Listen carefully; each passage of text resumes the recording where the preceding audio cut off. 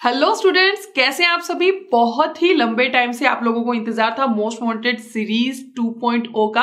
और लीजिए, आज से हम स्टार्ट कर रहे हैं इस सीरीज़ को। मैं डॉक्टर पूजा व्यास इस लंबे सफ़र में आपके साथ रहूँगी और बायोलॉजी पूरी हम कंप्लीट करेंगे। चलिए, हम स्टार्ट करते हैं ताकि हमारे नीट 2020 का सफ़र जो है बहुत ही ज़्यादा आसान हो जाए और इंटरेस्टिंग भी हो जाए। ठीक है? चलिए स्टार्ट करते हैं। हम लोग जो टॉपिक ले रहे हैं, सबसे पहले वो ले रहे हैं लिविंग वर्ड ठीक है? लिविंग वर्ड इसलिए ले रहे हैं, सबसे बेसिक इंपॉर्टेंट टॉपिक है ये और बायोलॉजी जो है, वो साइंस ऑफ़ लाइफ है। हम लाइफ के बारे में स्टडी कर रहे हैं तो सबसे पहले हमें पता होना चाहिए लाइफ क्या है राइट right? मैंने क्या किया है, ये पूरे चैप्टर को फोर सेक्शन में डिवाइड कर दिया, और इसी तरीके से हम सेक्शन वाइज इसको पढ़ेंगे। इस चैप्टर का वेटेज जो रहता है आपके नीट के एग्ज़ाम में, वो रहता है वन और टू क्वेश्चन इतना ही क्वेश्चन इसमें से पूछे जाते हैं, ठीक है? बहुत सिंपल चैप्टर है, आप लोगों को नॉर्मली इसके बारे में बहुत सारे स्टूडेंट्स को पता है बट फिर भी हम लोग उसको और इंटरेस्टिंग वे में पढ़ते हैं। चलिए what is living diversity in living world taxonomic category and taxonomic aids ये वो फोर कैटेगरीज हैं जिनमें हम इस चैप्टर को पूरा कवर करेंगे। अब स्टार्ट करते हैं from the question what is living living हम किसको बोलते हैं?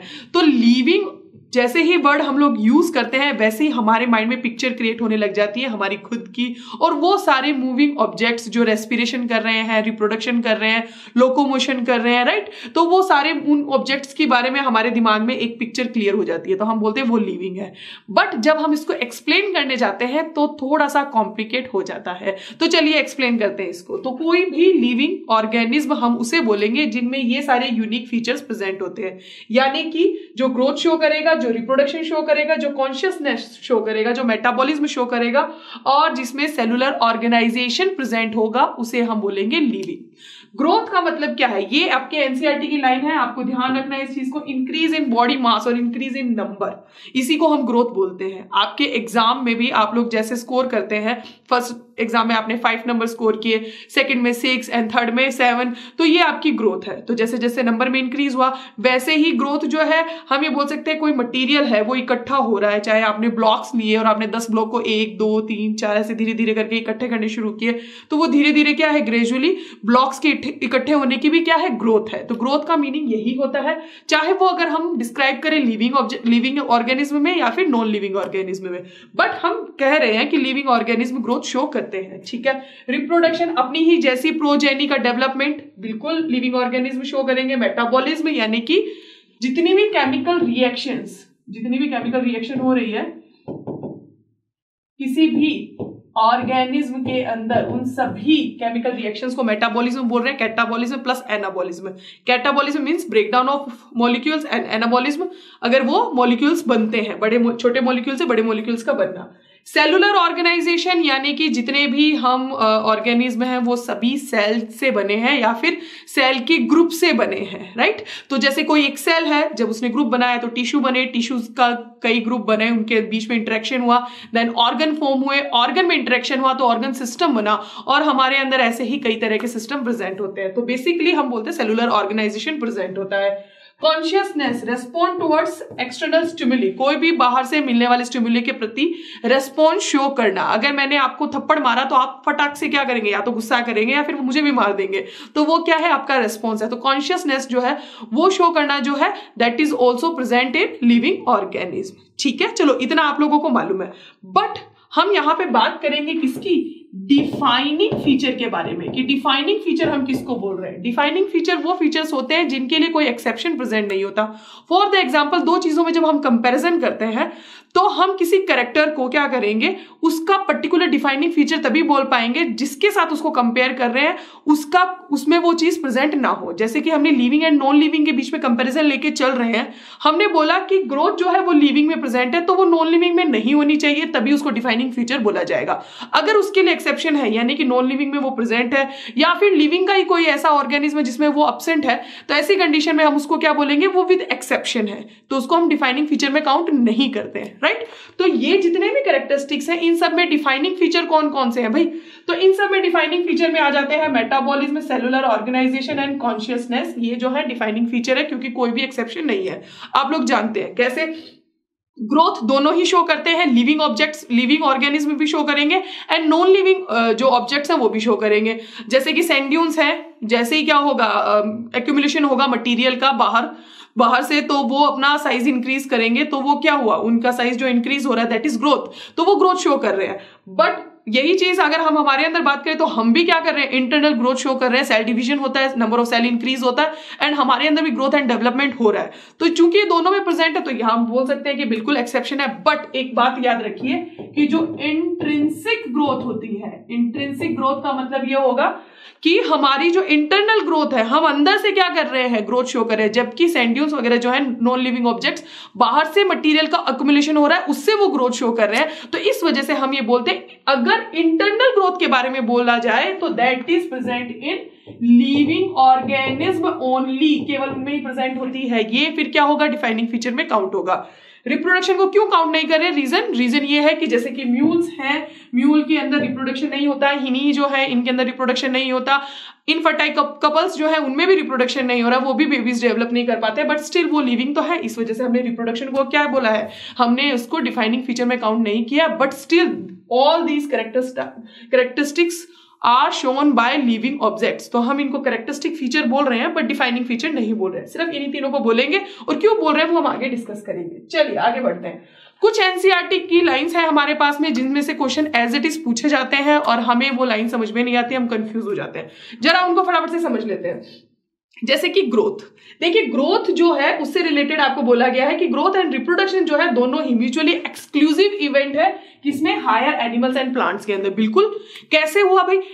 देखिए हायर प्लांट्स एंड एनिमल्स जो है, वो क्या करते हैं? सेल डिवीज़न करते हैं, ठीक है? सेल डिवीज़न करने से क्या होता है? नंबर ऑफ़ सेल जो है, वो इंक्रीज होती है, और जैसे ही नंबर ऑफ़ सेल्स इंक्रीज होती है देन वो शो करते हैं क्या? ग्रोथ एंड उनमें क्या होता है? डेवलपमेंट होता है राइट right?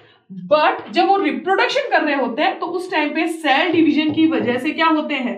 गैमेट्स फॉर्म होते हैं और ये गैमेट्स फिर क्या करते हैं? फर्टिलाइजेशन करते हैं। एंड फर्टिलाइजेशन के बाद में जाइगॉट बनता है और ये जाइगॉट जो है, ये क्या होता है? डेवलप होता है इनटू न्यू प्रोजेनी तो ऐसी कंडीशन में आप देखिए कि सेल डिवीज़न जो है वो क्या हो रहा है? वो यहाँ पर एक इवेंट है रिप्रोडक्शन के बीच में राइट बट यहाँ पे सेल डिवीज़न के through number of cell increase हो रही है और वो ग्रोथ शो कर रहे हैं। तो ये दोनों ही क्या है? अलग अलग चीज़ें हैं।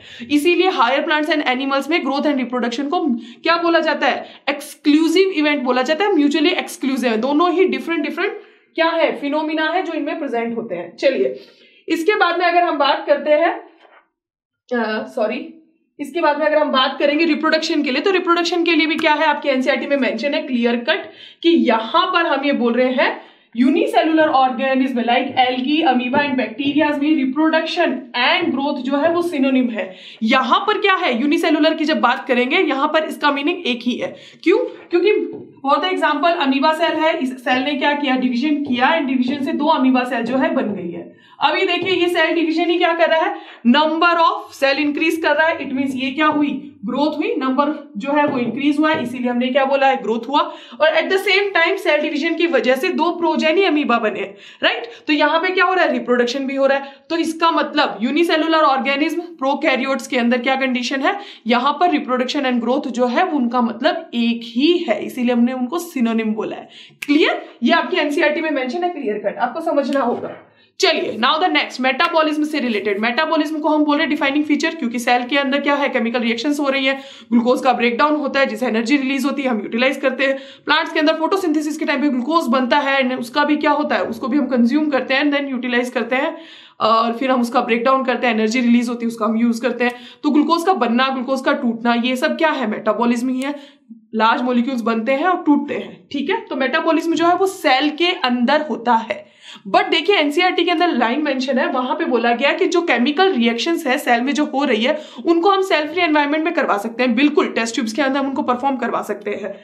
उनको टेस्ट ट्यूब में परफॉर्म करवाने के बावजूद भी हम क्या बोल रहे हैं? यहाँ पर कि ये जो कंडीशन है, हम इसको ना तो लिविंग बोलेंगे, ना ही नॉन लिविंग बोलेंगे। बिल्कुल सही है। क्यों? क्योंकि देखिए वो करेक्टर जो है वो टेस्ट ट्यूब यानी वो केमिकल रिएक्शन जो हमने टेस्ट ट्यूब के अंदर करवाई है टेस्ट ट्यूब के ग्लास के अंदर वो नेचुरली नहीं हो रही है राइट बट वो सेल के अंदर भी नहीं हो रही है। इसीलिए वो कंडीशन जो लेबोरेटरी के अंदर टेस्ट ट्यूब के अंदर जो हमने केमिकल रिएक्शन परफॉर्म करवाई उस कंडीशन को हम ना तो लिविंग में काउंट कर सकते, ना ही नॉन लिविंग में काउंट कर सकते। क्लियर आपको बात? तो एनसीआरटी में यहाँ पे ये मेंशन है, ठीक है? तो इसको हम एक्सेप्शन में काउंट नहीं करेंगे, बिल्कुल भी नहीं काउंट करेंगे।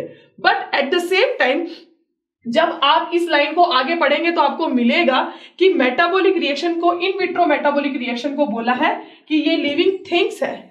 ये लिविंग थिंग्स नहीं है बट लिविंग रिएक्शन है।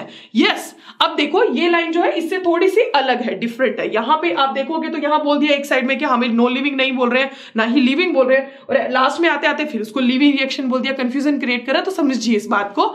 ये क्या कहना चाह रहे हैं? ये बोल रहे हैं आपको कि देखो टेस्ट ट्यूब के अंदर केमिकल हमने केमिकल रिएक्शन को परफॉर्म करवाया है। नेचुरली वहाँ नहीं हो रही है बट सेल के अंदर यही रिएक्शन क्या होती है? नेचुरली होती है। इस वजह से इन रिएक्शंस को हम लिविंग रिएक्शंस बोलते हैं, क्योंकि नेचुरली ये हो सकती है। But protein synthesis amino acids का सिंथेसिस ये सब चीज़ें हम टेस्ट ट्यूब में भी करवा सकते हैं। ये लिविंग ये जो लिविंग रिएक्शन इनको हम परफॉर्म करवा सकते हैं टेस्ट ट्यूब में। बट ये नेचुरली उस ग्लास में नहीं हो रही है, इस वजह से हम इसको लिविंग थिंग नहीं बोलते हैं। So in vitro metabolic reaction का होना क्या है? ये लिविंग रिएक्शन है बट ये नॉन लिविंग थिंग नहीं है।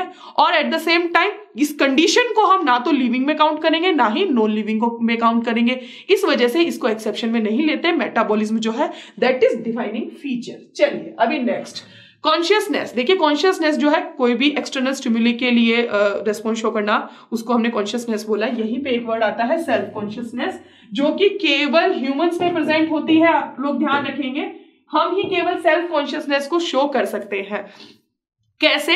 अगर मैं अभी आपकी इंसल्ट कर दूँ और मैं आपको बोलूँ कि आप इतने लापरवाह इंसान हैं, आप डॉक्टर बन ही नहीं सकते। आप उसको अपने ईगो पे ले लेंगे। और ईगो पे लेने के बाद में हो सकता है मुझे दो चार गालियाँ दे या फिर हो सकता है पढ़ाई में लग जाए। तो ये क्या है? सेल्फ कॉन्शियसनेस है। अगर मैं कोई कुत्ता आ रहा है और मैं उसको क्या करूँ? डंडे से मारूं तो थोड़ी देर बाद में वो फिर आ जाएगा। उसके ईगो पे हर्ट नहीं होता है। तो वो सेल्फ कॉन्शियसनेस नहीं है उसके अंदर। लेकिन अगर मैं आप दोनों को ही डंडे से मारती हूँ तो आप भी ज़ोर से चिल्लाएँगे। और हो सकता है कुत्ते को मारू तो वो भी ज़ोर से चिल्लाएगा। तो वो क्या है? कॉन्शियसनेस है। आपको दर्द हुआ तो आपने चिल्लाया, कुत्ते को भी दर्द हुआ तो वो चिल्लाया, लेकिन जो मैंने आपको बोल के जो आपका ईगो हट किया है, फिर कुत्ते को भी मैं बोल दो तो ऐसी कंडीशन के अंदर उसका ईगो हट नहीं हो रहा है। तो वो सेल्फ कॉन्शियस नहीं है, हम सेल्फ कॉन्शियस होते हैं, ठीक है? इस चीज़ को आप ध्यान रखेंगे। कॉन्शियसनेस के लिए कोई भी एक्सेप्शन नहीं है बट यहाँ पे एनसीआरटी में क्लियर कट मेंशन है कोमा पेशेंट्स के बारे में। कोमा पेशेंट्स जो होते हैं एक्चुअल में इनको हम क्यों काउंट नहीं करते हैं एक्सेप्शन में? रीजन ये है क्योंकि इनके अंदर स्टिल मेटाबॉलिक रिएक्शन तो हो ही रही है। और इसी के साथ में हम ये बोल रहे हैं कि ये सेलुलर ऑर्गेनाइजेशन भी इनमें मिलता है, सभी सेल से ही मिलकर बने हैं। ठीक है? इस वजह से ये कंडीशन तो इसमें है but at the same time इनका ब्रेन जो है वो काम नहीं करता, इसकी वजह से कॉन्शियसनेस इसके अंदर नहीं है। तो ना तो हमने इसको नॉन लिविंग में काउंट किया, ना ही हमने इसको लिविंग में काउंट किया। दैट इज़ एक्सीडेंटल सिचुएशन जिसको हम काउंट नहीं करेंगे एक्सेप्शन के अंदर। क्लियर तो ये यहाँ पे इसके लिए भी कोई एक्सेप्शन नहीं है डिफाइनिंग फीचर है कॉन्शियसनेस चलिए, आगे बढ़ते हैं। फिर आ जाते हैं सेलुलर ऑर्गेनाइजेशन से रिलेटेड देखिए सेलुलर ऑर्गेनाइजेशन से रिलेटेड लिखा गया है आपकी एनसीआरटी e के अंदर एक लाइन लिखी है, जिसमें बोला है कि टिश्यूज जो है, वो जो है ये टिश्यू का होना, ये करेक्टर सेल का नहीं है। बट सेल जो है, वो टिश्यूज का पार्ट होती है। सिंपल सी बात है, देखिए सेल जब आपस में इंटरेक्शन करती है, तब क्या बनते हैं? टिश्यू बनते हैं। लेकिन अगर आप टिश्यू को ग्राइंड कर दो और उसके बाद में जो अलग अलग सेल्स हमें मिलेंगी तो क्या हम बोलेंगे कि इन सेल्स के अंदर टिश्यू की क्वालिटी या गुण प्रेजेंट है? नहीं, उनके अंदर वो क्वालिटी प्रेजेंट नहीं होती है, क्योंकि अब सेल जो है, उनका इंटरेक्शन जो था, आपस में वो टूट गया है, वो ब्रेक हो गया है। तो टिश्यूज जो है, वो सेल से मिलकर बनते हैं। वैसे ही जब कई सारे टिश्यूज आपस में क्या करते हैं? इंटरेक्शन करते हैं तो उनसे ऑर्गन बनते हैं। तो ये हम क्या बोलते हैं? ये सेल के इंटरेक्शन टिश्यू के इंटरेक्शन की वजह से डेवलप होने वाली हाइरेरिकी है, जो धीरे धीरे कॉम्प्लेक्सिटी की तरफ़ जाती है। क्लियर हुआ आपको? लेकिन बेसिक फंडामेंटल सिचुएशन में अगर हम देखें तो हम ये बोलते हैं कि हम सभी सेल से ही बने हैं। इसीलिए सेलुलर ऑर्गेनाइजेशन का होना ज़रूरी है लिविंग ऑर्गेनिज्म के अंदर। चाहे वो यूनिसेलुलर हो, चाहे वो मल्टी सेलुलर ऑर्गेनिज्म हो। तो यहाँ पे आपको यही क्लियर कट बताया गया है। उसके बाद में सेकेंड लाइन में आपको वही चीज़ बोलिए कि अगर सेल ऑर्गेनलीज की बात करें तो सेल ऑर्गेनलीज जो है, वो एक्चुअल में डिफरेंट डिफरेंट मॉलिक्यूल से मिलकर बनते हैं।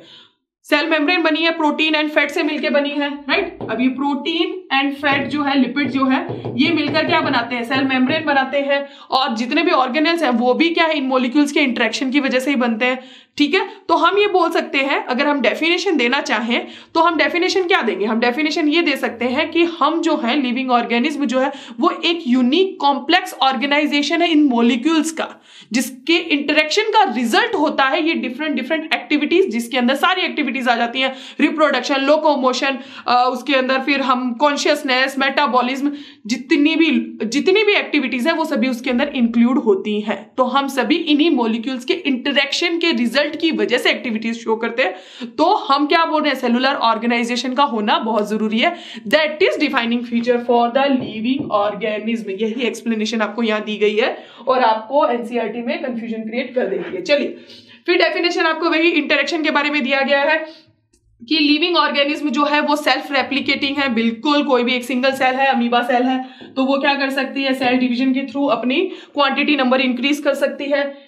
इवॉल्विंग है जैसे जैसे क्या होता है सेल डिवीज़न होता है या फिर हम ये बोल सकते हैं सेक्सुअल रिप्रोडक्शन के टाइम पे जब गैमेट्स बनते हैं उस टाइम पे जब ए, ए, हम ये बोलते हैं मियोसिस होता है उस टाइम पे कई बार ऐसा होता है जेनेटिक मटेरियल के अंदर चेंजेस आते हैं and some time environmental condition की वजह से भी जेनेटिक मटीरियल में जो चेंजेस आते हैं उसकी वजह से नए करेक्टर डेवलप होते हैं इवोल्यूशन होता है तो यस yes, इवोल्यूशन होता है सेल्फ रेगुलेटिंग इंटरेक्टिव सिस्टम है, बिल्कुल। सेल्फ रेगुलेटिंग है, हमारी बॉडी के अंदर बहुत सारी एक्टिविटीज़ ऐसी हैं जो अपने आप से कंट्रोल होती है। और एक सेल जो है, वो भी क्या है? सेल्फ रेगुलेटिंग यूनिट ही तो है।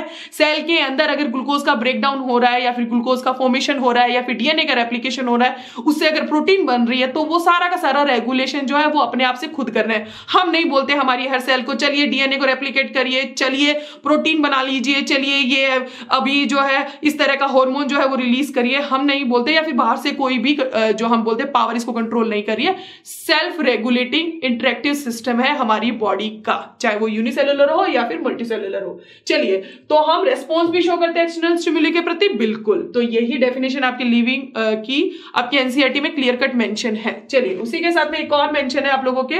आपको ध्यान रखना है प्रेजेंट पास्ट एंड फ्यूचर जितने भी लिविंग ऑर्गेनिज्म है, वो सेम जेनेटिक मटीरियल द्वारा एक दूसरे से जुड़े रहते हैं, सब में सेम जेनेटिक मटीरियल होता है बट अलग अलग डिग्री का होता है, क्योंकि हम सबके अंदर डीएनए आरएनए सब में है, सब में डीएनए है, सब में आरएनए है। सॉरी सब में डीएनए है, सब में आरएनए है और सबके अंदर वही पाँच जो है हमें देखने को मिलेंगे। नाइट्रोजन बेस यानी कि adenine thymine guanine cytosine uracil यही पाँच हमारे अंदर मिलेंगे, हमारे अंदर नाइट्रोजन बेस जिनकी सीक्वेंस हो सकता है मे बी अलग अलग अमीनो एसिड की सीक्वेंस अलग अलग बना सकते हैं। एडिनिन थाइमिन और ग्वानिन साइटोसिन इन सब का रेशियो हो सकता है, सब में अलग अलग हो। लेकिन बेसिकली यही नाइट्रोजन बेस मिलेंगे, कोई छठा, सातवां, आठवां अलग से और नाइट्रोजन बेस जो है वो नहीं आएँगे। क्लियर तो हम ये बोल रहे हैं जेनेटिक मटेरियल सबका सिमिलर है बट डिफरेंट डिफरेंट डिग्री का है। अलग अलग तरीके का हो सकता है। अलग अलग तरीके से मतलब इनकी सिक्वेंसिंग से है, ठीक है? अलग तरह के नाइट्रोजन बेस से नहीं है। इनकी परसेंटेज से है, इनकी क्वांटिटी से हो सकता है। है ना? नाइट्रोजन बेस की इनका रेशो अलग अलग हो सकता है। क्लियर चलिए, ये आपके एनसीआरटी में क्लियर कट मेंशन है, जो आप लोग ध्यान नहीं देते हैं। तो यहाँ पे खत्म हो जाता है व्हाट इज़ लिविंग हमारा टॉपिक और अभी आपके माइंड में एक क्लियर पिक्चर बन गई होगी। चलिए now next topic diversity in living world देखिए डाइवर्सिटी सबसे पहली बात, किसको कहते हैं डाइवर्सिटी आप देखिए, अगर किसी भी एक पर्टिकुलर एरिया के अंदर अगर आप जाएँ, जिस भी एरिया में आप रह रहे हैं, आप अपनी कॉलोनी में ही देखिए, आपको कई तरह की वैरायटी मिलेगी ऑर्गेनिज्म में। कैसे सेम एरिया सेम कॉलोनी में अगर आप जाइए, आप विंडो से झाँक के देखिए, आपको कई तरह के वहाँ पे प्लांट्स नज़र आएँगे। हो सकता है मे भी आपकी बालकनी में अलग अलग तरह के प्लांट्स लगे हो। आप अपने घर में झांकेंगे तो आपको दिखाई देंगे ह्यूमन बींग्स थोड़ी देर में अगर आप खाना खा रहे हैं या फिर खिड़की खुली है विंडो ओपन रह जाती है तो कई मक्खियाँ भी उनके ऊपर क्या होती है भिन भिनाने लगती है कभी कभी कभी कभी क्या होता है, रात को सोते टाइम आपको मच्छर भी काट रहे होते हैं, लकड़ी के साइड से अगर आप कभी देखेंगे, कहीं पे गीला सीलन रह गई तो वहाँ से खटमल वगैरह निकलते हुए भी आपको नज़र आ जाएँगे। कहीं दीवारों पे आपको दीमक भी नज़र आ जाएगी। तो एक पर्टिकुलर एरिया में ही आपको कई तरह के आपको देखने को मिलते हैं ऑर्गेनिज्म तो इसी को हम क्या बोलते हैं? डाइवर्सिटी बोलते हैं। एक पर्टिकुलर एरिया में डिफरेंट डिफरेंट स्पीशीज की प्रेजेंस जो है, इसको डाइवर्सिटी बोला जाता है। वो प्लांट स्पीशीज हो सकती है एनिमल स्पीशीज हो सकती है। क्लियर चलिए इसी के साथ में आप लोगों को एक लाइन एनसीआरटी के अंदर क्लियर कट मेंशन है। इस पर कई बार क्वेश्चन पूछा गया ये आपको ध्यान रखना है। आपको रेंज पूछी जाती है, आप इस रेंज को ध्यान रखेंगे। कि कितने नंबर में स्पीशीज जो है अब तक नोन है और उसको डिस्क्राइब कर दिया गया है। यानी कि बहुत सारी ऐसी स्पीशीज जिनको अभी तक हम जान भी नहीं पाए हैं और उनके करेक्टर के बारे में जानना तो दूर की बात है। बट 1.7 टू 1.8 मिलियन स्पीशीज ऐसी हैं जिनको हमने अभी क्या कर लिया है, जान भी लिया डिस्क्राइब भी कर लिया एज इट इज़ क्वेश्चन पूछा जाता है। कई बार सब लोग प्लांट्स एंड एनिमल्स को लेकर भी अलग अलग डाटा याद रखते हैं बट कभी पूछा नहीं गया, ना ही एनसीआरटी में मेंशन है। तो हम क्यों जाए उस साइड में? राइट चलिए। फिर आ जाते हैं, ये डिस्क्राइब एंड नोन ये शब्द क्यों आए? ठीक है? तो यहीं से साइंस की एक नई ब्रांच आती है जिसका नाम है टेक्सोनोमी। टेक्सोनोमी जो है, ये शब्द जो है, आया है टेक्सोन से। अभी टेक्सोन तक हम जाएँ, लेकिन सबसे पहले हम टेक्सोनोमी को ही समझते हैं कि टेक्सोनोमी है क्या। एक्चुअल में अगर आप किसी भी नई चीज़ को देखेंगे तो सबसे पहले उसको क्या करेंगे? आइडेंटिफाई करना चाहेंगे कि आखिर ये है क्या। और आइडेंटिफाई आप कब कर पाएँगे उसको? जब आप उसके करेक्टर बोल पाएँगे। फॉर द एग्ज़ाम्पल मैंने ये पेन लिया है। मैं इसको पेन तब तक नहीं बोल पाऊँगी जब तक मैं इसको आइडेंटिफाई नहीं कर पाऊँगी। और आइडेंटिफाई तब कर पाऊँगी जब मुझे इसके करेक्टर मालूम होगी कि हाँ भाई इसमें निप प्रेजेंट है, इसमें बाहर का कवर प्रेजेंट है, इसको मैं लिखने में यूज़ में ले सकती हूँ। जब मेरे को इसका करेक्टराइजेशन हुआ तो मैंने इसको आइडेंटिफाई कर लिया एंड देन मैंने उसका नाम रखा क्या? Pen right right? तो ये क्या है? ये एक प्रोसेस है। इस प्रोसेस को ही हम पढ़ते हैं किसके अंदर? टेक्सोनोमी के अंदर। तो टेक्सोनोमी हम किसे बोल रहे हैं? तो taxonomy is a study of classification identification nomen and characterization इसी को बोला जाता है टेक्सोनोमी कार्लस लीनियस का जब भी नाम आता है तो टेक्सोनोमी वर्ड हमारे दिमाग में घूम जाता है। चलिए अभी इन्हीं शब्दों को समझते हैं। क्लासिफिकेशन का मतलब क्या हुआ? क्लासिफिकेशन का मतलब ये हुआ कि इनको डिफरेंट डिफरेंट कैटेगरी के अंदर डिवाइड करना। ठीक है? डिवाइड का मतलब कैसे हुआ? जैसे कि फॉर द एग्ज़ाम्पल कि आपके पास में बुक्स हैं बायोलॉजी की है फिजिक्स की है एंड केमिस्ट्री की है। अभी आपके पास में उनसे रिलेटेड एमसीक्यूज की बुक्स भी हैं, उनके नोट्स भी हैं। तो आप क्या करोगे? उनको तीन सेक्शन में डिवाइड कर दोगे बायोलॉजी का सेक्शन जिसमें उनकी तीनों ही चीज़ें हैं। बुक्स भी हैं नोट्स भी हैं एमसीक्यूज की बुक्स भी हैं। फिजिक्स का एक अलग सेक्शन केमिस्ट्री का एक अलग सेक्शन आपने क्या किया? ये इनको अलग अलग कैटेगरी के अंदर डिवाइड करके उनको आपने एक जगह पे प्लेस कर दिया, रख दिया है। ठीक है? तो इसको हमने क्या बोला है? क्लासिफिकेशन बोला है। सब्जेक्ट के अकॉर्डिंग तो क्लासिफिकेशन करना, यानी जितने भी डाइवर्सिटी के हम जिसमें बोल रहे हैं लिविंग ऑर्गेनिज्म है, उनको डिफरेंट डिफरेंट ग्रुप्स के अंदर डिवाइड करना कैटेगराइज करना अलग अलग कैटेगरी में रखना, उसको हम क्लासिफिकेशन बोलते हैं, ठीक है? सेकेंड चीज़ आ जाती है आइडेंटिफिकेशन आइडेंटिफिकेशन का मतलब तो वही है, अगर हम उसको, उसके करेक्टर को देखते हुए उसको पहचान पाना, उसको हम उसका आइडेंटिफिकेशन बोलेंगे। चलिए नॉर्मल क्लेचर का मतलब हुआ, उसको कोई ना कोई नाम देना ताकि हम उसको समझ पाए और अगली बार उसी नाम से उसको भुला पाए। एंड करेक्टराइजेशन करेक्टराइजेशन का मतलब यही हुआ मोर्फोलॉजिकली साइटोलॉजिकली और फिर हम ये बोलते हैं एनाटोमिकली कई तरीके से आजकल क्या किया जाता है करेक्टर जो है वो लिस्ट जो है उसकी बनाई जाती है करेक्टर्स की लिस्ट पहले, सबसे पहले स्टार्टिंग में जो है केवल मोर्फोलॉजिकली कैरेक्टर्स को ही लिया जाता, बाहर से उनके क्या क्या कैरेक्टर्स होते हैं, उसी को देखा जाता था। तो कैरेक्टराइजेशन का मतलब क्या हुआ? साइटोलॉजिकली एनाटोमिकली मोर्फोलॉजिकली उसकी पूरी स्टडी करना एंड देन उनकी करेक्टर्स की लिस्ट बनाना करेक्टराइजेशन करना ठीक है? उसको हम करेक्टराइजेशन बोलेंगे। बट टेक्सोनोमी से जो क्वेश्चन पूछा जाता है वो ये पूछा जाता है कि टेक्सोनोमी के अंदर इसके आ, हम ये बोलते हैं कंटिन्यू स्टेप्स क्या है? तो वो भी आपके एनसीआरटी में मेंशन है। सबसे पहले हम किसी भी ऑर्गेनिज्म का क्या करते हैं? करेक्टराइजेशन करते हैं। जब करेक्टराइजेशन हो जाएगा तब उसका क्या हो जाएगा? आइडेंटिफिकेशन कहलाएगा। और आइडेंटिफिकेशन होने के बाद हम उसको क्लासिफिकेशन करेंगे एंड देन उसका नॉर्मल करेंगे। इसके लिए एक सिंपल सा फंडा है, आपके घर में कोई बच्चा बेबी अभी हुआ है, आप उसको देखेंगे और उसके मोर्फोलॉजिकली करेक्टर से क्या करेंगे? करेक्टराइजेशन किया आपने मोर्फोलॉजिकली करेक्टर आपने देखा तो आपने आइडेंटिफाई किया कि ये मैन बेबी गर्ल है या फिर बेबी बॉय है। जब आपको पता चला कि हाँ ये बेबी गर्ल है या बेबी बॉय है तो उसके अकॉर्डिंग आपने क्या किया? आपका एक क्लासिफिकेशन हो गया और आपने उसी तरीके के नामों की लिस्ट देखी और उसका क्या किया? नॉमन किया, उसका नामकरण किया, ठीक है? तो वही सिंपल चीज़ जो है, वही सिंपल स्टेप्स जो है, वो टेक्सोनोमी के अंदर भी क्या किए जाते हैं? फॉलो किए जाते हैं। चलिए टेक्सोनोमी के अंदर जब बात करेंगे तो यहाँ पर बात हम बाइनोमियल नॉमन के करेंगे। वो बहुत ही इंपॉर्टेंट है कार्डस लीनियस ने हमें दिया है। उसको डिस्कस करने से पहले ये नॉमन किसके थ्रू किए जाते हैं? तो जितने भी ऑर्गेनिज्म है, चाहे वो प्लांट स्पीशीज है, चाहे वो एनिमल स्पीशीज है, उन सबका nomenclature ICBN and ICZN करते हैं। आईसीबीएन किसका करते हैं? बोटेनिकल नॉमन क्लेचर यानी कि ओनली प्लांट्स के लिए।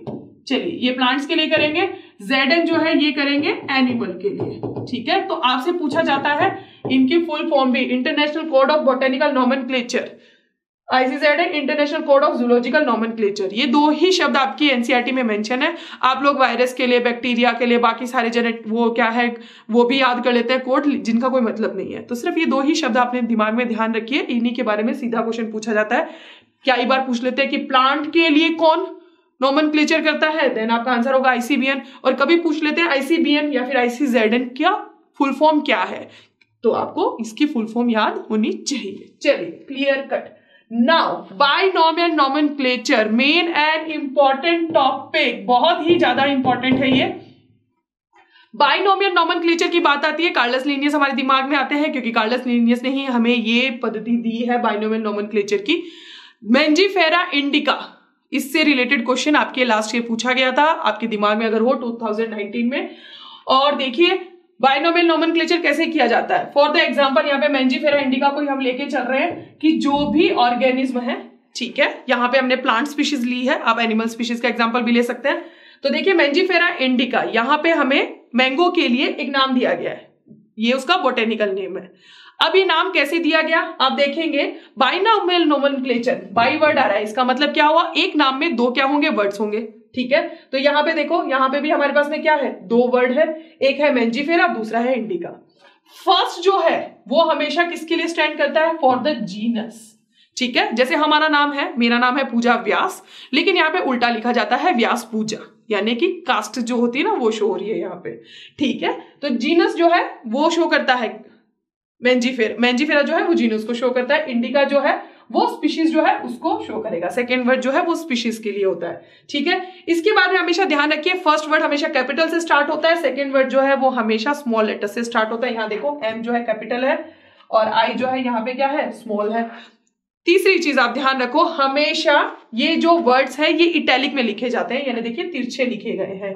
ये तिरछे हैं। लेकिन जब हम उसको लिखेंगे, अगर मैं इसको लिखती हूँ मैंजी फेरा इंडिका तो ऐसी कंडीशन के अंदर मैं इसको अंडरलाइन कर दूँगी। तो हैंड रिटन जब भी होंगे तो अंडरलाइन होंगे। अगर प्रिंटेड है तो इटैलिक्स में होंगे।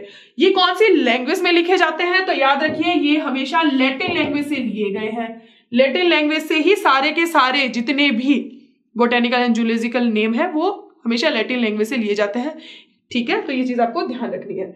इसी के साथ में जिस भी साइंटिस्ट ने ये नेम दिए हैं उसका नाम भी एब्रीविएट करके इसके आगे लिख दिया जाता है। जैसे कि ये लीनियस ने दिया है तो लिप मैं इसके आगे मेंशन कर दूँगी। पूरा नाम नहीं लिखते सिर्फ़ जो उसकी आ, का जो हम ये बोलते हैं कास्ट जिसको हम बोल सकते हैं जिसका सरनेम है सॉरी तो जो उसका सरनेम है उसको हमने लिन करके यहाँ पे लिख दिया तो एब्रीविएट करके यहाँ पे लिख दिया जाता है। ठीक है? तो ये आपको ध्यान रखना है।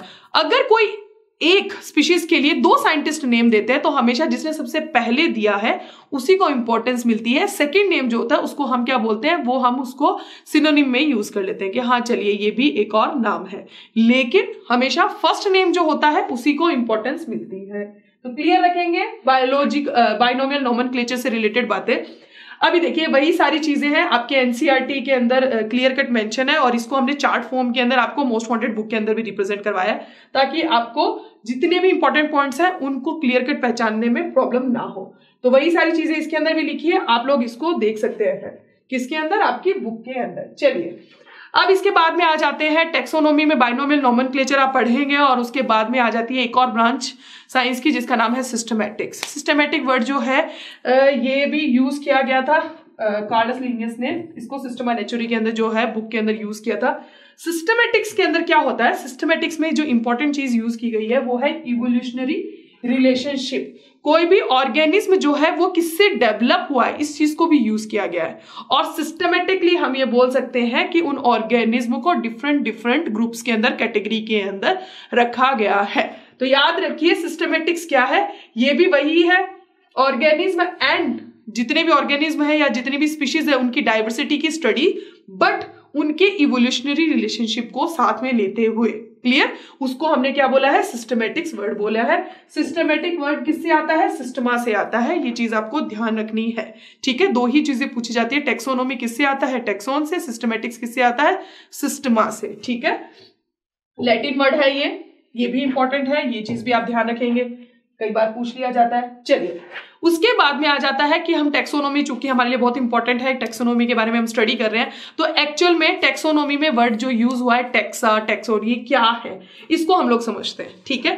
अभी देखिए, मैं कुछ नाम लेती हूँ, जो आपके एनसीआरटी में मेंशन है कि वहीं से मैंने लाइन उठाई है, क्योंकि आप लोग पढ़ते ही नहीं है कई बार। चलिए, वहीं पे लिखा गया dog cat mammals wheat rice plant animals ये सारे जैसे शब्द मैंने लिए तो आपके दिमाग में पिक्चर क्रिएट हुई कि नहीं हुई? हो गई ना कि एनिमल के बारे में बात कर रही हो तो आपको सारे एनिमल एक साथ दिखने लगे होंगे इमेजिन कर सकते हो। कैट के बारे में बोला तो कैट आपको दिखने लगी होगी, बिल्कुल राइट तो ये इमेजिन कर सकते हो। तो ये सभी क्या है? ये सभी कैटेगरीज ही तो है। एक जैसी दिखने वाली, है ना? वो बिल्लियाँ जो है सब, वो सब क्या है? कैट एक जैसे फीचर्स होते हैं कैट के, जितनी भी कैट्स हैं। चाहे वो आपके घर की हो या पड़ोसी ने पाल के रखी हो तो वो कैट भी अगर आप देख लो।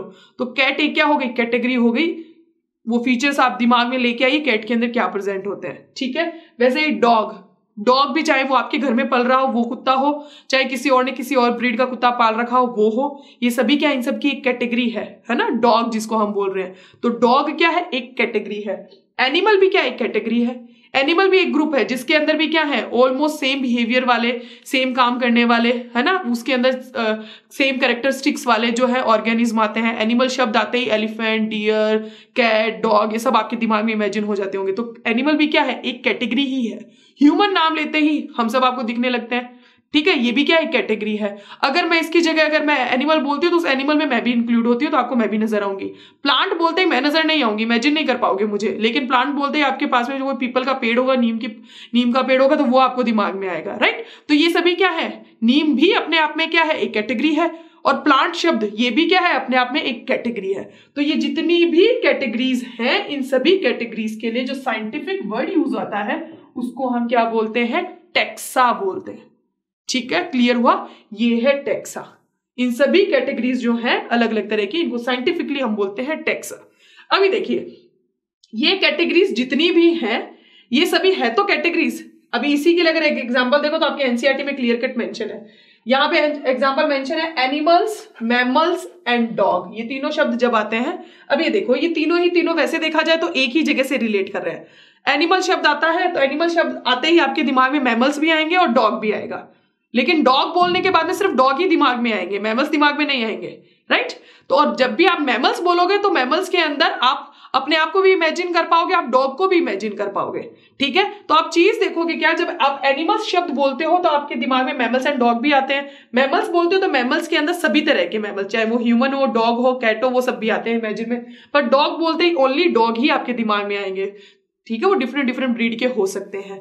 तो ये सभी क्या है? है तो कैटेगरीज ये सभी क्या है? है तो टैक्सा लेकिन डिफरेंट डिफरेंट लेवल के हैं। यानी कि एनिमल्स में एक जैसे करेक्टर वाले कई सारे टैक्सा आ सकते हैं। मेमल्स के अंदर भी एक जैसे दिखने वाले कई सारे टैक्सा आ सकते हैं। डॉग कैट ये सब भी अलग अलग तरह के टैक्सा है। यानी कि ये सभी टैक्सा है, लेकिन अलग अलग रैंकिंग के हैं अलग अलग डिग्री के हैं। ठीक है, अभी क्लियर हुआ? तो ये शब्द आपके एनसीआरटी में क्लियर कट मेंशन है। डिफरेंट लेवल का हायरार्की ही नहीं समझते हैं हम लोग। और टेक्सोनोमिक कैटेगरी से पहले टेक्सोनोमिक हायरार्की ही हमारे दिमाग में होना चाहिए। टेक्सोनोमिक हायरार्की क्या बोल रहे हैं? ये जितने भी टेक्सा हैं, ये जितने भी कैटेगरीज हैं, इनको सिस्टमेटिकली अरेंज करना। अपने अपनी हम ये बोल सकते हैं, जो है सिमिलरिटीज के अकॉर्डिंग ठीक है, ये अलग अलग लेवल पे क्या होते हैं अरेंज किए जाते हैं। और आपको मालूम है टेक्सोनोमी को, के अंदर, इन कैटेगरीज का जो अरेंजमेंट होता है, इसी को हम क्या बोलते हैं हायरेरिकी बोलते हैं। टेक्सोनोमी कितनी कैटेगरीज है कार्लस ने हमें दी है सेवन ऑब्लिगेट कैटेगरीज है कौन कौन सी है? स्पीशीज है जीनस है फैमिली है ऑर्डर है देन क्या है? क्लास है, ठीक है? तो species genus family order class और इसके बाद में आ जाएगा आपका फाइलम है एंड डिवीज़न है, ठीक है? और उसके बाद में आ जाएगा किंगडम।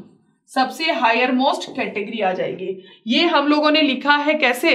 करेक्टर्स जो होते हैं, उनकी डिक्रीजिंग तरीके से। स्पीशीज में वो सभी ऑर्गेनिज्म आते हैं जिसमें सबसे ज़्यादा सिमिलरिटीज हमें देखने को मिलती है। मैक्सिमम सिमिलरिटीज जो है, वो स्पीशीज के अंदर प्रेजेंट ऑर्गेनिज्म शो करते हैं, ठीक है? फिर हम ये बोल रहे हैं जीनस जीनस के अंदर क्लोजली रिलेटेड स्पीशीज आती हैं।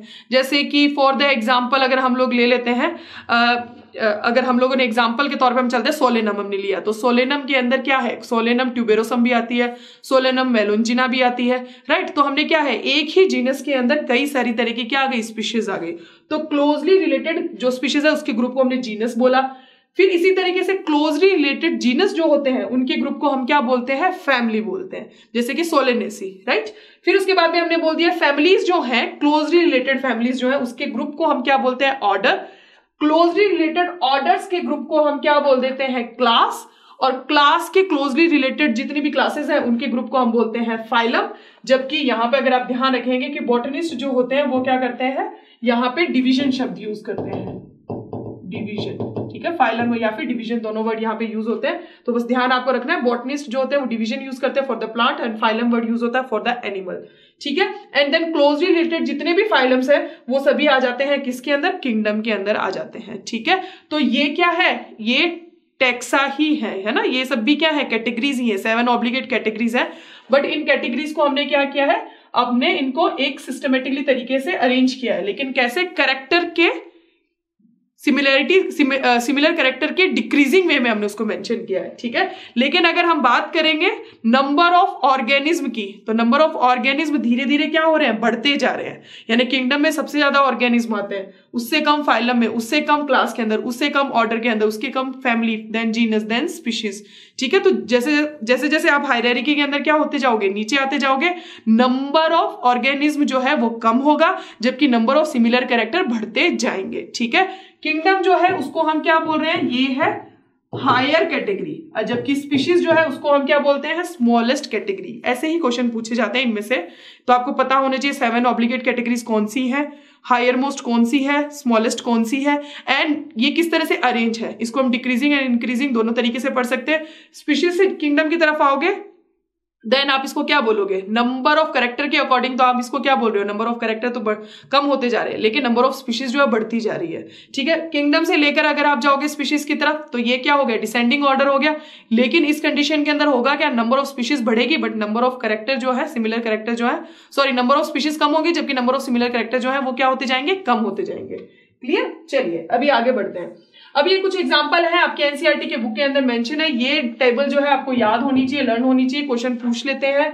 जैसे कि ये क्वेश्चन जो है वो पूछा जा चुका है, ठीक है? तो आपसे ये पूछ लेते हैं, किस तरीके से पूछेंगे? आपको दो कॉलम बना देते हैं column one and column two column one में आपको लिख दिए कैटेगरीज के नेम लिख दिया है, जैसे कि जीनस फैमिली ऑर्डर क्लास ये लिख दिया है। एंड देन सेकंड कॉलम के अंदर आपको उसके जितने भी जीनस फैमिली ऑर्डर की जो है नेमिंग वो दे दी है। एंड देन आपको मैच करना पड़ता है कि हाँ भाई आपको बताना है म्यूजा मस्का डोमेस्टिका के लिए क्लास क्या है मस्का डोमेस्टिका की ऑर्डर क्या है फैमिली क्या है जीनस क्या है। तो ये टेबल बहुत इंपॉर्टेंट है, ये आपको लर्न करनी है, आपके एनसीआरटी के अंदर एज इट इज़ मैंशन है, ये आप वहाँ से लर्न कर सकते हैं, ये आपकी बुक में भी मैंशन है। चलिए उसके बाद में आ जाते हैं टेक्सोनोमिकल एड्स ये आ गई हमारी अभी नेक्स्ट कैटेगरी चलिए लास्ट हमारा पोर्शन है जो चल रहा है। टेक्सोनॉमिकल एड्स किसको बोलते हैं? ये वो सभी साधन है जो हमें हेल्प करते हैं टेक्सोनॉमिकल स्टडी में।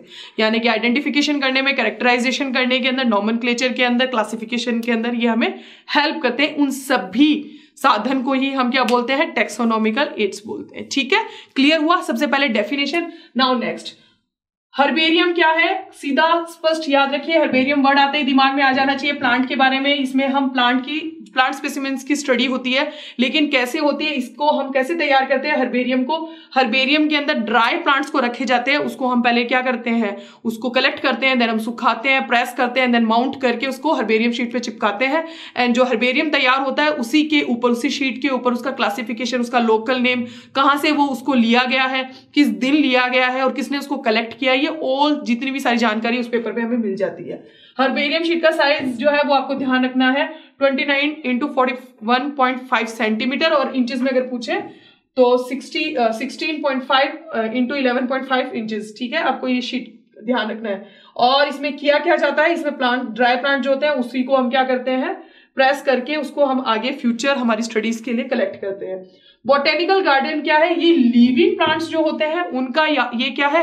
एक्स सिटू कंजर्वेशन है। सेम वैसा ही एनवायरमेंट प्रोवाइड करते हैं बट उनके खुद की जगह पे नहीं, जहाँ पे वो ग्रो हुए हैं, उनको एक अलग एनवायरमेंट हम ये बोल सकते हैं मैन मेड एनवायरमेंट होता है सिमिलर टू देयर जो उनका बोल सकते हैं नेटिव जैसा एनवायरमेंट था, वैसा ही एनवायरमेंट उनको प्रोवाइड करते हैं बट वो एक्स टू कंजर्वेशन कहलाएगा।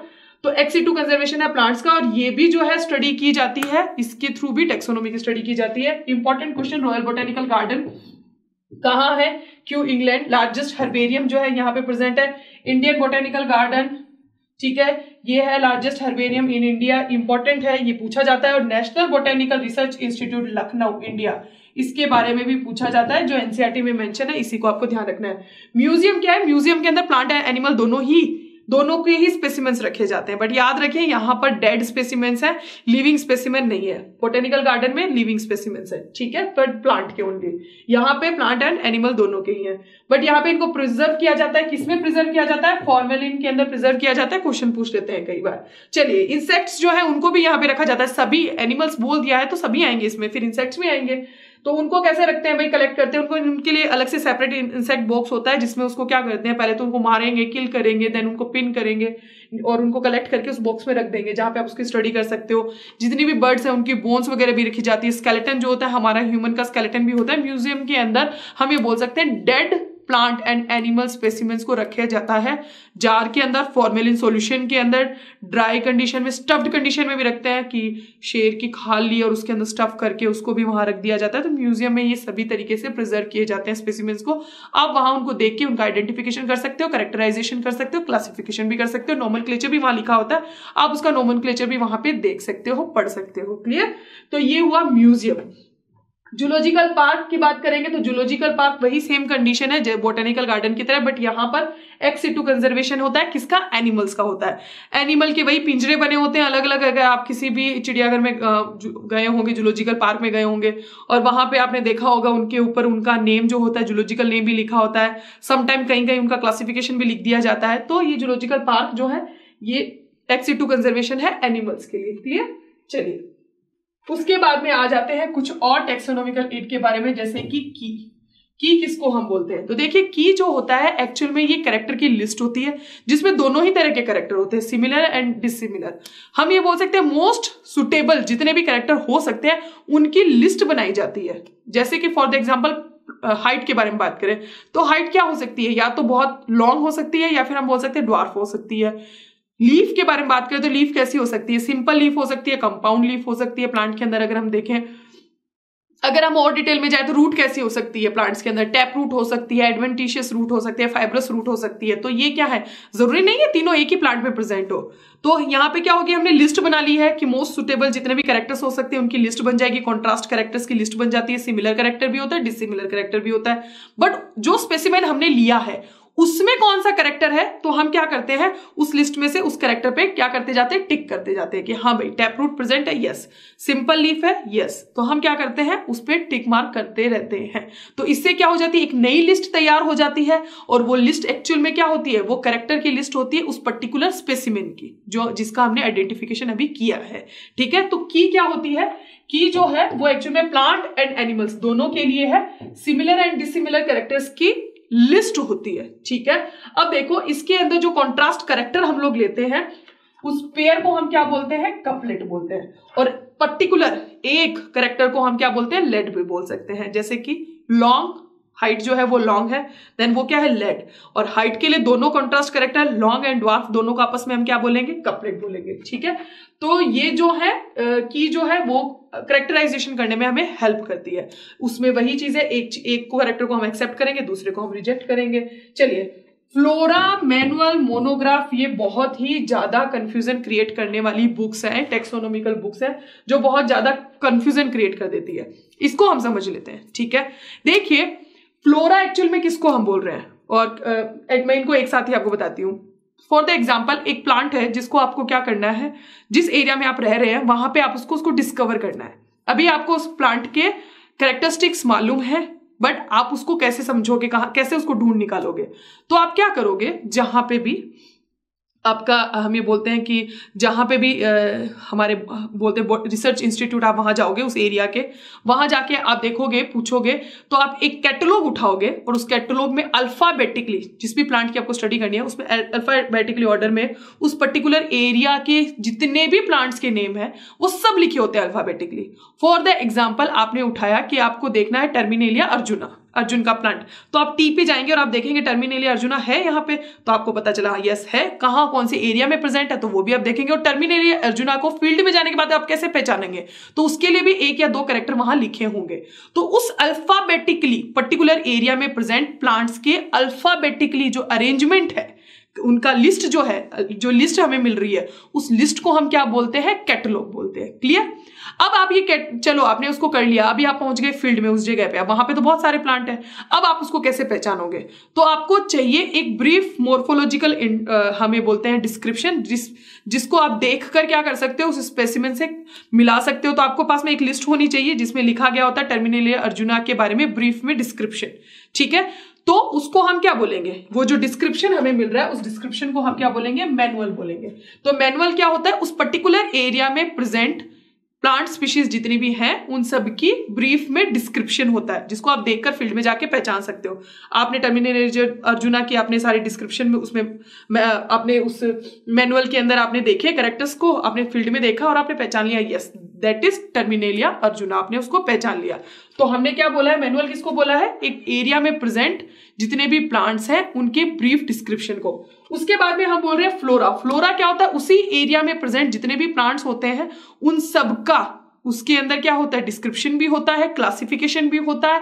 और हम ये बोलते हैं उसकी इकोलॉजिकल कंडीशन रेनफॉल उसको कितनी चाहिए होती है, वो सब के बारे में भी होता है। तो हम ये बोल सकते हैं कंप्लीट डिस्क्रिप्शन जो होता है उस प्लांट का ये उस प्लांट जितने भी प्लांट्स उस एरिया में प्रेजेंट उन सब का उसको हम क्या बोलते हैं? फ्लोरा अब ये फ्लोरा हर लेवल पे हो सकता है। एक फ्लोरा जो है वो डिस्ट्रिक्ट लेवल का भी हो सकता है फ्लोरा जो है वो स्टेट लेवल का भी हो सकता है फ्लोरा जो है हम ये बोल सकते हैं कंट्री लेवल का भी हो सकता है। तो फ्लोरा जो है, फिर वो उसका लेवल कोई भी हो सकता है। क्लियर तो फ्लोरा में actual account of habitat distribution of plant दिए गए एरिया में गिवन एरिया उसको हम बोलेंगे फ्लोरा सबसे इंपॉर्टेंट फ्लोरा है हुकर का flora of British India NCERT में मेंशन है, इसलिए इंपॉर्टेंट है।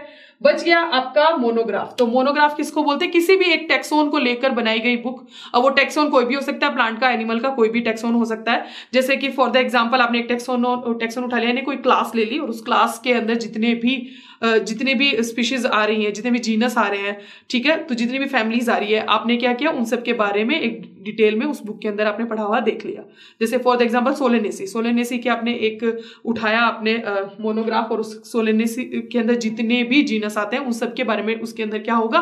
पूरा डिस्क्रिप्शन लिखा होगा। तो किसी भी एक टेक्सोन को लेकर, वो कोई भी हायरेरिकी के किसी भी लेवल का हो सकता है, उस बुक को हम क्या बोलेंगे? मोनोग्राफ बोलेंगे।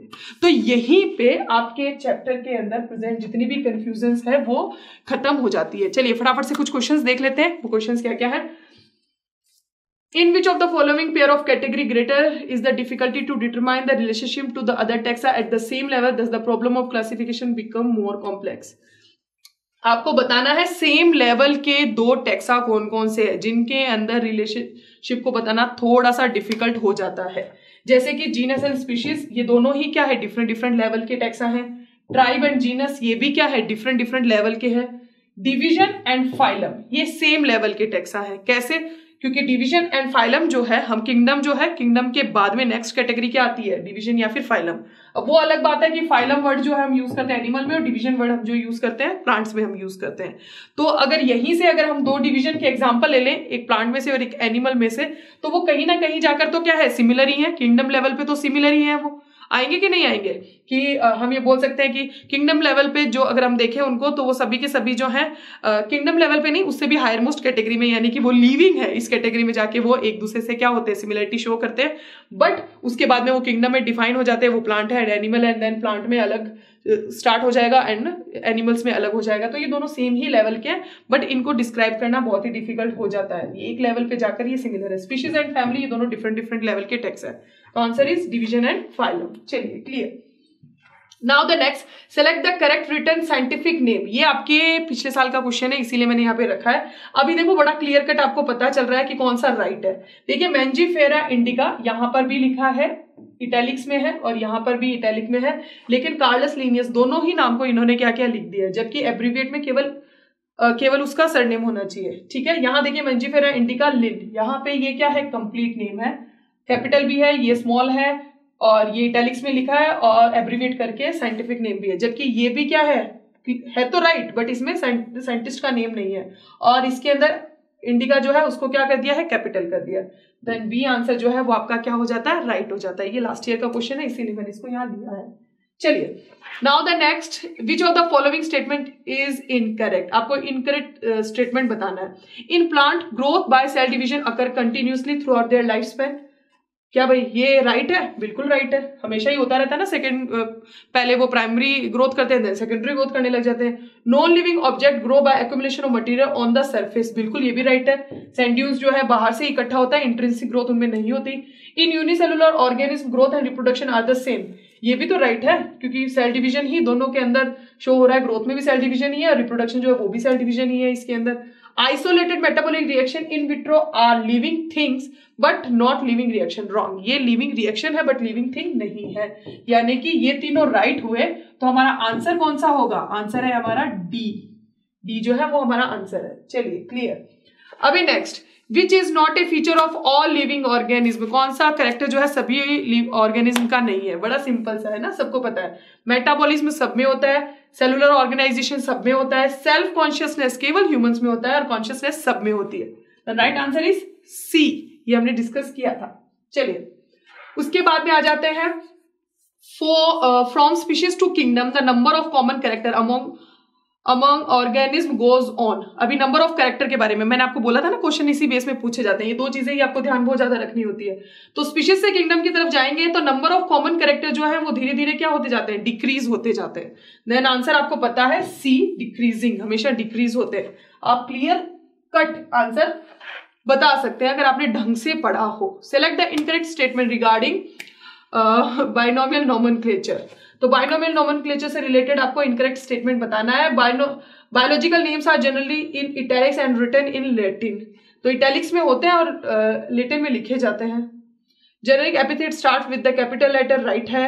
आपको इनकरेक्ट बताना ना तो ये राइट है। Both the names are separately underline indicating their Latin origin बिल्कुल। Author's name is written after the scientific name is roman type ठीक है, ये भी राइट है। Binomial nomen are generally in italics and written in Latin generally क्या होते हैं ये? राइट right है ये answer author name is written after the scientific name in roman type ये भी राइट right है। यहाँ पे ये रिटर्न ये इटैलिक्स में लिखे जाते हैं बट होते किसमें लैटिन में होते हैं। ये रॉन्ग आंसर है। तो ये हमारा क्या हो गया? आंसर हो गया। चलिए। ठीक है? क्लियर अभी नेक्स्ट नेक्स्ट है each statement of the key is called मैंने आप लोगों को बताया था। क्या बोलते हैं भाई? ईच स्टेटमेंट को हम उसको लेड बोलते हैं। कपलेट बोलते हैं दोनों को। ठीक है? टेक्सोन जो है वो कैटेगरीज को बोलते हैं। और कैटेगरीज एंड टेक्सोन ये कैटेगरी जो वर्ड है, ये तो नॉर्मल लैंग्वेज में टेक्सोन उसका साइंटिफिक साइंटिफिक नेम है। क्लियर चलिए। इसके बाद में information about any one taxon of plant and animal can be found in किसके अंदर रखा जाता है भाई? केवल ये केवल एक टेक्सोन से रिलेटेड रखा जाता है तो वो होता है मोनोग्राफ के अंदर। क्लियर चलिए। उसके बाद में, अभी देखिए, ये इतने सारे क्वेश्चन बड़े सिंपल थे, हम लोगों ने कर लिए। पूरा लिविंग वर्ड जो है, वो चैप्टर जो है हमारे दिमाग में हो गया। अब कुछ फॉलो अप क्वेश्चन है प्लीज़ इनका स्क्रीनशॉट ले लीजिए और मुझे कमेंट सेक्शन के अंदर लिखिए। नेक्स्ट नेक्स्ट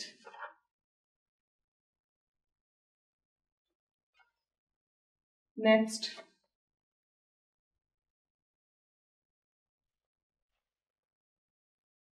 नेक्स्ट चलिए तो ये सारे फॉलो अप क्वेश्चन है जिनके आंसर आपको देने हैं मेरे पूरे वीडियो को देखने के बाद में और इनके आंसर मुझे कमेंट सेक्शन में लिखने हैं। आई होप पूरा चैप्टर आपको क्लियर हो गया होगा। धीरे धीरे हम आगे ऐसे ही बढ़ेंगे बायोलॉजी के अंदर और सारे कॉन्सेप्ट जो है वो आपके हो जाएँगे आसान। आज के लिए इतना ही, फिर मिलेंगे कल ओके बाय बाय